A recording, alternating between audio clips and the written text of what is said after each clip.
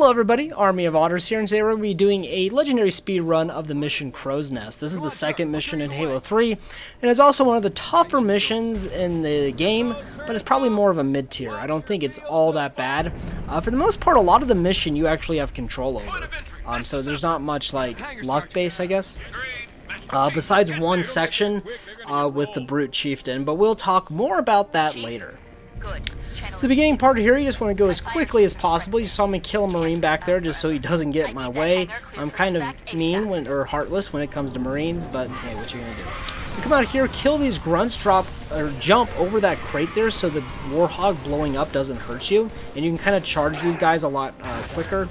Um, I've cleared these enemies a lot faster before, but again, just kind of take your time. No point in getting yourself killed. Um, but it is the beginning of the mission, so if you die here, not a big deal. You have one Brute, and that is it, so Plasma noob combo him. Then finish off the stragglers. I didn't even kill that last grunt. Um, a lot of times, if there's a grunt, I just don't even care. Um, so come here. You can throw a grenade down here, but for the most part, these enemies are pretty easy to kill.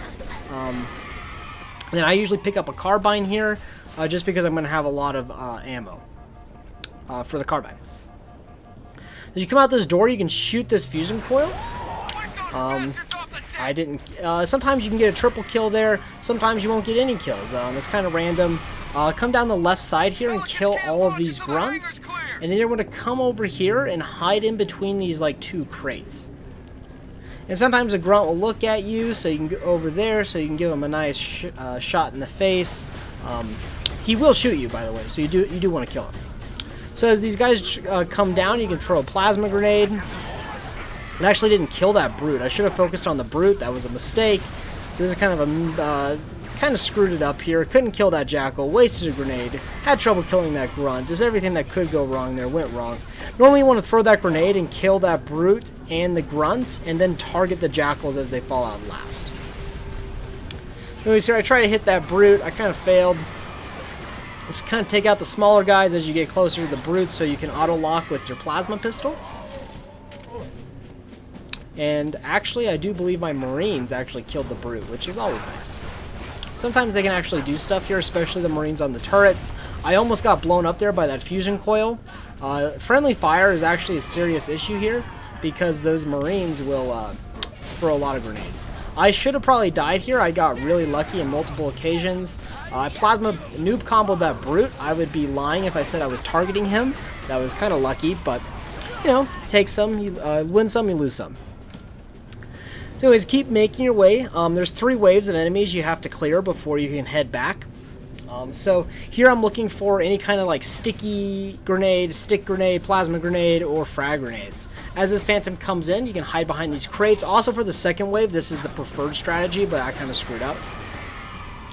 So this second, uh, this first Brute will take a while to fall down. I recommend plasmaing him and then hitting him with a plasma grenade. So plasma pistol, plasma grenade, just to make him easier to hit. Now you're going to have uh, three more grunts drop down, uh, kill them, and then kill any stragglers, and you're done with this part. Just watch out for the Phantom as it leaves. I was looking for a Jackal, but then I saw the dead body and I figured the Marines killed it. So here, this is very important. Pick up one of these deployable covers and move on to the next section. so that hangar is probably the toughest part of the entire mission, besides maybe the uh, the brutes with the jetpack room. But we'll get to that later. I'll actually die at that moment. But the hangar, um, the nice thing about the hangar is at the beginning of the mission, so if you just want to restart the whole mission, you are able to do that. Also, it's very generous with checkpoints during that, so not too big of a deal if you die. So now we have to make all our way back, uh, all the way to the command center, but we're going to have to fight some drones. Um, and the reason we pick up this deployable cover is we're going to attempt to put the deployable cover in a position so we can shoot out of it without being shot at. And you'll see what I mean here in a second. Um, but I actually fail. You can throw that grenade. Sometimes you can even get an overkill.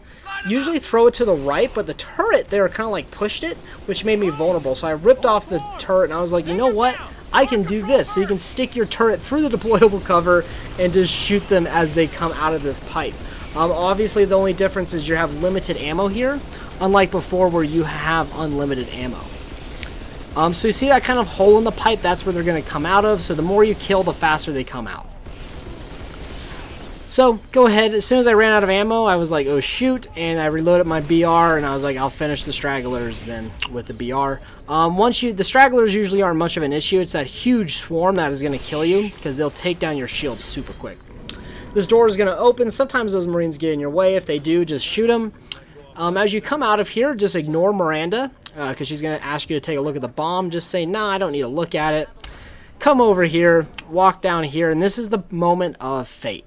Uh, there's a 50-50 chance, from what I understand, that this Brute's going to drop an Invincibility or Flare. Although for me, I, I swear to God, it is a 9 in 10 chance he'll drop an Invincibility.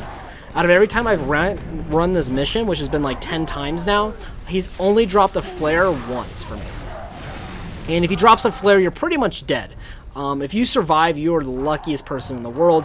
So the point there is kill him, uh, plasma noob combo him, kill him as quickly as possible, pick up his invincibility, spam the whatever button it is for you, X, and activate the invincibility. That way the brutes can't kill you.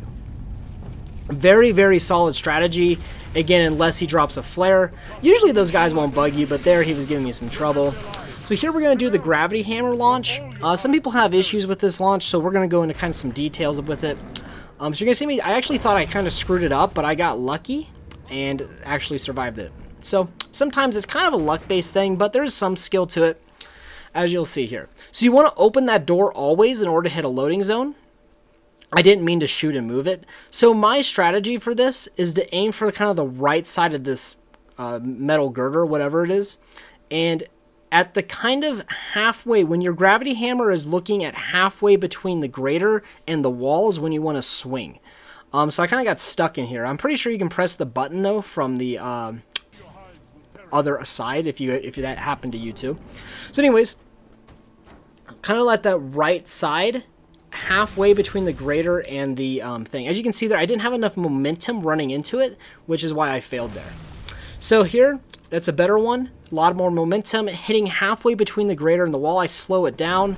As you can kind of see, if that helps you, again, I aim my RT, my right trigger, swinging the hammer halfway between the grater and the wall.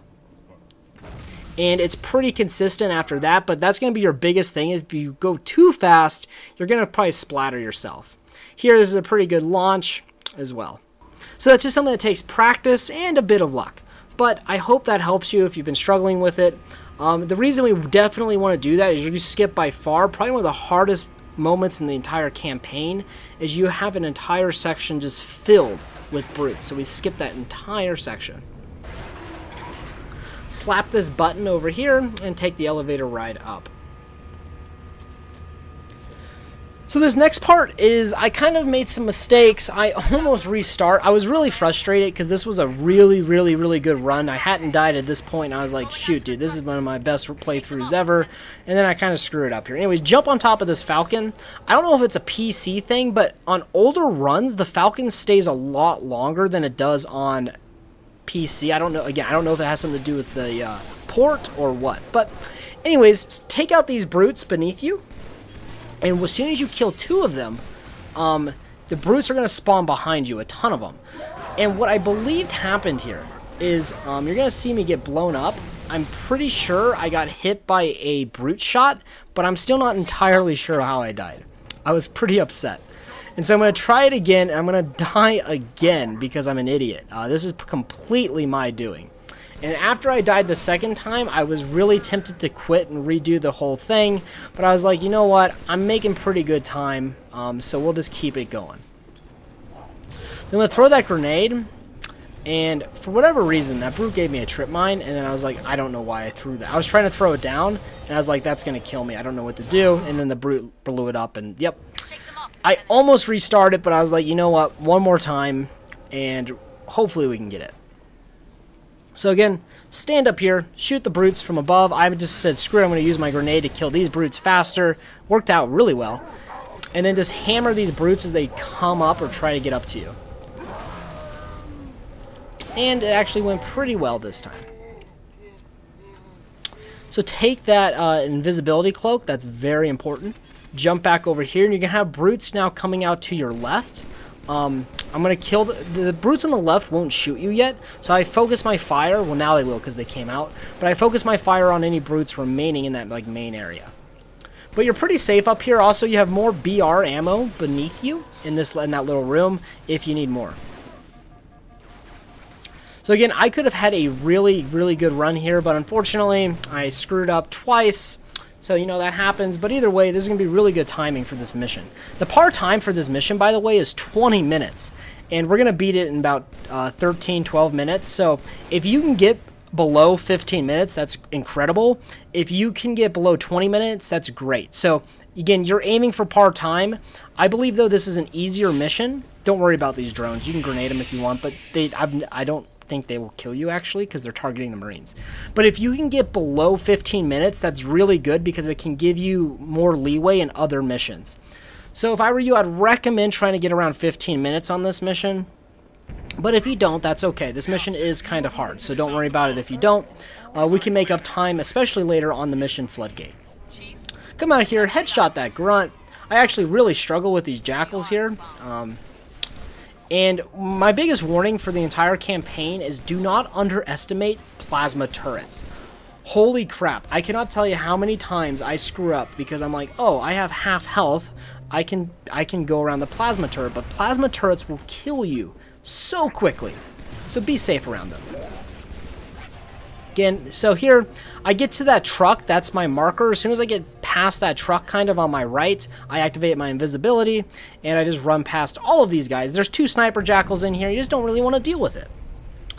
In this room, this is kind of RNG, but I found this to be very consistent. Uh, so what do you do is you sledgehammer this brute, throw that um, regenerator pretty far, otherwise the it could get blown up by a, a grunt or a brute. Run backwards, and then just kind of hope those grunts don't kill you.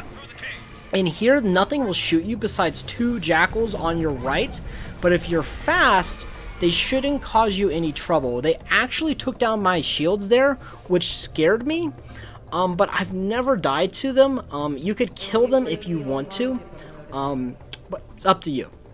If you're not feeling safe about it, you can kill the two jackals. So down here is going to be the probably the last uh, the last riskiest part of the mission are these grunts. They will actually, as soon as you walk out, they will kill you. Uh, I just let the drones go by. There's a little technique you can do with the drones to make it go faster, but it doesn't actually save that much time, and with all the grunts and stuff, it's fairly dangerous. To just keep moving, I tried to do a gravity hammer jump there, but I hit the wall, so it didn't really save me any time. That one helped me a bit. And the rest of this mission is a cakewalk, as you just have to go to the elevator before the bomb explodes. Um, I didn't beat my previous best on this mission, but I felt like this was a good enough run to showcase. It also showed some of my mistakes um, and how to kind of improvise, especially with the turret and the drones if you don't hit that. Take out those two jackals. As far as I'm concerned, they're the only ones that'll shoot at you. You can try and get some more kills. Just run in here and hit that button. Uh, you have a lot of dead time here because Cortana says something, the thing kind of blows up, and it kind of sucks that they just don't end the mission sooner and make that more of a cutscene, but you know, what you gonna do. Anyways, sub 20 minute run on this mission is really good, so I'll see you guys next time on the mission Tsavo Highway.